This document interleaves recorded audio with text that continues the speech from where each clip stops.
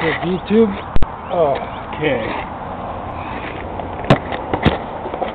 So today I just kind of wanted to talk about a subject that I'm pretty familiar with. Well, distance running.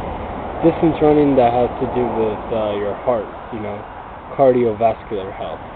What I noticed though with distance running, and especially with cardio endurance stuff, is you always have a lot of energy during the daytime. And also, you could actually manage without less sleep. Less sleep and more energy during the day. How's that possible? Well, I'm not really sure in terms of scientific uh, research, but I did notice, just from my own personal experience, I could function pretty well with five, six hours of sleep. Maybe a little less. And I mean, for example, let's say I wake up at 8 o'clock in the morning and I don't go to bed till about maybe uh, midnight or 12:30 or 1 a.m. I could wake up probably same time, maybe sooner, feeling completely fine, very well rested though.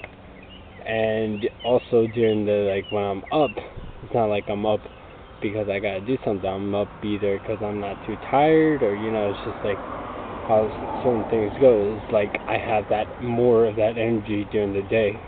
And I guess is when you run though, your arteries around your heart they expand. So that's why when your blood's pumping in your system though, it's not uh, pushing those arteries though. That's why your blood pressure seems to go down. So so you don't waste that energy that uh, when you normally have high blood pressure you usually do get tired quicker though. That's my theory, though, on distance running, and uh, seems to be pretty working very well, though. Again, another benefit on distance running right, that you could do. You could actually function pretty well on less sleep and have more energy throughout the day. I mean, besides doing that, you know, you could do jump roping and uh, bike riding, anything cardio for long, long, long periods of time to build up your endurance. So, again, another helpful tip right there.